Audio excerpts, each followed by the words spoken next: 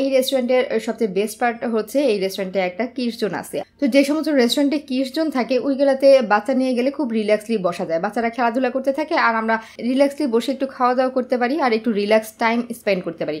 আজকে বাবার বাড়ি থেকে চলে যাচ্ছি বাসায়।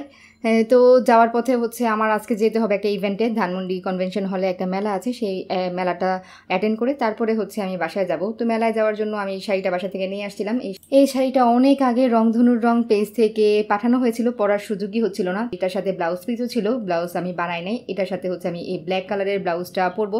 আর হচ্ছে এই পার্সটা নিব, এই পার্সটা হচ্ছে ওপিয়া পেজ থেকে পাঠানো হয়েছিল।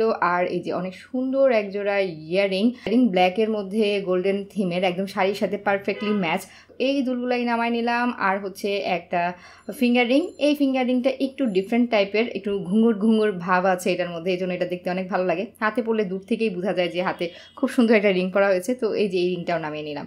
তো এই তো এখন ঝটপট রেডি হয়ে যাই আজকে আমরা ইফতার বাইরে করব, এমনই একটা প্ল্যান যে আমরা ইভেন্টে গিয়ে সেখানে ইফতার করব। তো এই তো আমি রেডি হয়ে গেছি রেডি হইতে হইতে যে দেরি হয়ে গেছে এটা আমি খেয়ালই করি নাই, ঘড়ির দিকে আমি তাকাই নাই। আমি গল্প করতেছিলাম, গল্প করতে করতে ঘড়ির কাটা কখন যে চারটা বেজে পার হয়ে গেছে খেয়ালই করিনি। আমার তিনটা বাজে বাসা থেকে বের হওয়ার কথা ছিল। আর এই যে আমি আয়নার সামনে দাঁড়িয়ে একটা সেলফি তোলার ট্রাই করতেছি, মানুষজন মিরর সেলফি যে কীভাবে তোলে কত সুন্দর করে তোলে। আর আমি মিরর সেলফি তুলতে গেলে আমার মোবাইলটাই পুরো ফেস দিয়ে ঢেকে যায়, আমার চেহারা আর আসে না। আমি কত ট্রাই করতেছি, এদিক করতেছি, সেদিক করতেছি, কিন্তু আমাকে আর আসতেছে না। আর এই যে আমার পিছনে হচ্ছে কুটুস বুড়িটা আমার ভাতিজি ঘুমাচ্ছে ওকে আমি আমার রুমে এনে রাখছিলাম, যে আমি বের হওয়ার আগ পর্যন্ত আমার রুমেই থাকবে। আর এই যে আমি হচ্ছি ফাইনালি রেডি তো রেডি হওয়ার পরে কি যেন নাইনাই লাগতেছে, পরে মনে হলো গলায় কিছু পরি নাই, এই জন্য নাইনাই লাগতেছে, কিন্তু গলায় কিছু মিলিয়ে আনিও নাই বাসা থেকে, তো এইভাবেই যাইতে হবে।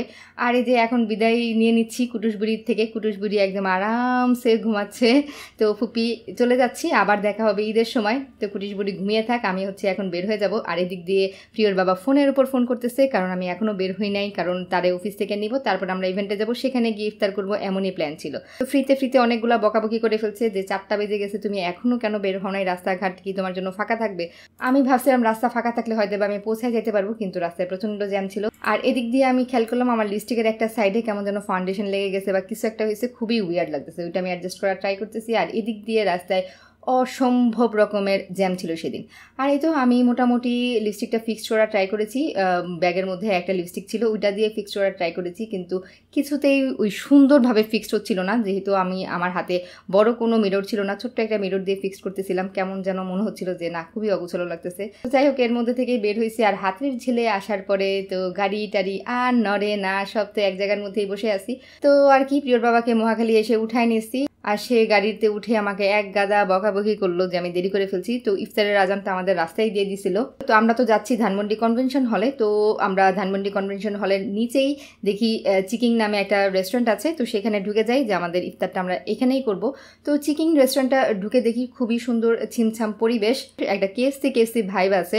মানে পুরো ডেকোরেশনটার মধ্যে একটা কেএফসি কেএফসি ভাইব আছে। তো আমরা কিছু খাবার দাবার অর্ডার করে দিই। একটা রাইস প্যাকেজ অর্ডার করেছি। তারপরে বার্গার অর্ডার করেছি। আর চিকেন ফ্রাই অর্ডার করেছি। চিকেন ফ্রাইটা আমার কাছে অসম্ভব ভালো লাগছে। প্রিয় খুব মজা করে খাইছে। আর আমি বার্গারটা খাইছি, কি বার্গার অর্ডার করেছিলাম ভুলে গেছি। বার্গারটার বানটা অসম্ভব সফট ছিল বার্গারটাও বেশ ভালো লাগছে। নেক্সট টাইম আমি ধানমন্ডির দিকে গেলে আমি অবশ্যই আবার চিকেনসে খাব, কারণ অনেক ভালো লাগছে আমার এদের খাবারটা। এটা হচ্ছে ধানমন্ডি কনভেনশন হলটা যেটা আছে, এটা নিচে। আর আর ধানমন্ডি কনভেনশনটা হচ্ছে সাত মসজিদ রোডে ফর্টি ফোর নাম্বার হাউসে আসলে আপনারা হচ্ছে চিকেন রেস্টুরেন্টটা পেয়ে যাবেন। আমরা এখানে খাওয়া দাওয়া করে তারপরে হচ্ছে ইভেন্টে যাব। মেলাটা হচ্ছে হচ্ছে এই কনভেনশন হলের তিনতলায় তো খাওয়া দাওয়া শেষে এরপর প্রিয় বলতেছে, কোন আইসক্রিম খাবে? তো ওকে এখান থেকে কোন আইসক্রিম নিয়ে দিলাম। অন্যান্য জায়গায় এই কোন আইসক্রিমগুলো দেড়শো টাকা করে থাকে, তো এখানে দেখলাম একশো টাকা করে, তো প্রাইসগুলো রিজনেবলই আর অন্যান্য আইটেম আমরা যেগুলো অর্ডার করেছিলাম, এগুলোও রিজনেবল প্রাইসের মধ্যেই ছিল।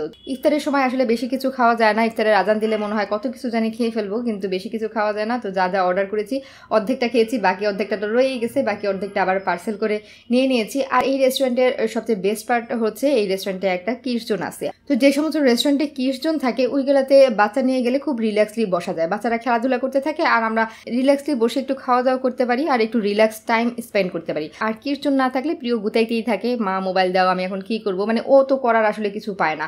আমাদের সাথে কতক্ষণ বসে থাকবে? এটা আসলে বাচ্চাদের জন্য খুব ভালো একটা বিষয় রেস্টুরেন্টগুলোর মধ্যে কিরজন রাখে এখন তো ম্যাক্সিমাম রেস্টুরেন্টগুলোর মধ্যে কিরজন থাকে না। আসলে এই অপশনটা রাখা উচিত। এরপর রেস্টুরেন্ট থেকে বের হয়ে দেখি এতগুলা বেলুন। তো এখান থেকে কিছু বেলুন নিয়ে আকাশে উড়িয়ে দিয়েছিলাম। ভীষণ ভালো লেগেছে। এই গ্যাস বেলুনগুলো দেখতে না অনেক ভালো লাগে। এক একটা এক এক শেপের ছিল। আর অনেকগুলো একসাথে যদি উড়িয়ে দেওয়া যায়, তাহলে তো অনেক বেশি মজা লাগে। তো এখান থেকে কিছু বেলুন নিয়ে আকাশে উড়িয়ে দিয়েছিলাম। ভীষণ ভালো লেগেছিল। মনে হচ্ছিল একদম ছোটোবেলায় চলে আসছি। তো এই টাইপের কিছু কিছু বাচ্চার মানুষের মতো কাজ করতেও মাঝে মাঝে ভালোই লাগে। তো এখন যাচ্ছি হচ্ছে মেলাতে।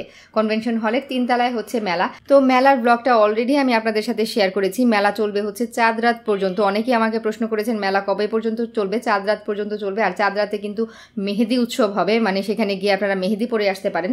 যারা যারা মেহেদি দিতে চান, ওখানে গিয়ে মেহেদি পরে আসতে পারেন। আমার যদি সময় সুযোগ হয়, আমি চেষ্টা করব চাঁদ রাতেও যাওয়ার। আর মেলায় আসার পর রেড ভেলভেট আর ফ্লোরাল পেজের একটা স্টল চোখে পড়ল। ওনাদের পেজে খুবই সুন্দর সুন্দর ব্লকের কিছু শাড়ি আর ড্রেস ছিল। রেড ভেলভেটের হচ্ছে শাড়ি আর ফ্লোরালের হচ্ছে থ্রি পিস তো আপুরা আমাকে এখান থেকে ড্রেস গিফট করছে, শাড়ি গিফট করছে। তো এই ড্রেসটা হচ্ছে মরিস থিমের আপু আমাকে দেখেই বলতেছে যে, আপু, এটা আপনি যেহেতু ফুড ব্লগ করেন, এই এই থিমটা আপনার সাথে খুব যাবে। তো এটা আপনাকে গিফট করতে চাই। তো আর কি, এত ভালোবেসে কেউ কিছু দিলে তো আর না করা যায় না। আসলেই ড্রেসটা অনেক সুন্দর, আমি ঈদের পরে বানিয়ে একদিন পরবো। ফ্লোরাল পেজকে অনেক অনেক ধন্যবাদ এত সুন্দর একটা ড্রেস গিফট করার জন্য। এরপর হচ্ছে রেড ভেলভেট পেজের আপু, এই যে এই শাড়িটা প্যাক করতেছেন গিফট করার জন্য এটার সাথে একটা ব্লাউজ পিসও ছিল, এটা হচ্ছে কোটার মধ্যে ব্লক করা। কালার কম্বিনেশনগুলো অনেক সুন্দর। ওনাদের যতগুলা ব্লকের শাড়ি আমি দেখলাম ওনাদের কালার কম্বিনেশনগুলো আসলে অনেক সুন্দর। এটা হচ্ছে রেড ভেলভেট পেজ থেকে গিফট করা হয়েছে। তো এরপরে মেলা টেলা ঘুরে আমরা এখন বাসায় চলে যাচ্ছি। তো বাসায় যাওয়ার পথে সংসদ ভবন চোখে বলল, পুরো সংসদ ভবন যে কত সুন্দর করে সাজানো হয়েছে। আমরা কিছুদিন আগে গিয়েছিলাম, তখনও পুরোপুরি সাজানোর কাজ শেষ হয় নাই। তো সেদিন গিয়ে দেখি সাজানো শেষ, একদম লাইট টাইট জ্বলে পুরা পুরা সংসদ ভবন একদম চকচক করতেছে। এটা হচ্ছে সংসদ ভবনের পঞ্চাশতম বার্ষিকী উপলক্ষে এইভাবে সাজানো হয়েছে। সুবর্ণ জন্ম জয়ন্তী উপলক্ষে এইভাবে সাজানো হয়েছে। খুবই সুন্দর লাগছিল দেখতে। এরপরে হচ্ছে বাসায় চলে আসছি। বাসায় এসে খাবারের বক্স খুলতেছি কাপড় চোপড়ের ব্যাগ টেক সব ছড়ায় ছিটায় রাখছি। আর এই যে খাবারগুলো সব নামাই নিছি, এগুলো ছোট খালামণি আসার সময় দিয়ে দিছে। ওই দিনের ইফতার ছোট খালামণির আয়োজন ছিল তো আমি তো ছিলাম না এই জন্য আমারগুলো সব প্যাক করে দিয়ে দিছে। পোলাও ছিল রোজ ছিল, ডিম ছিল, তো আমার আর রান্না বান্না নাই, এগুলোই গরম করে খেয়ে ফেলব। তো আজকে ছোটোখাটো ব্লগ এখানেই শেষ করে দিচ্ছি। সবাই ভালো থাকবেন, সুস্থ থাকবেন। আল্লাহ হাফেজ। আর আমার ব্লগ কেমন লাগে অবশ্যই কমেন্ট করে জানাবেন। আল্লাহ হাফেজ।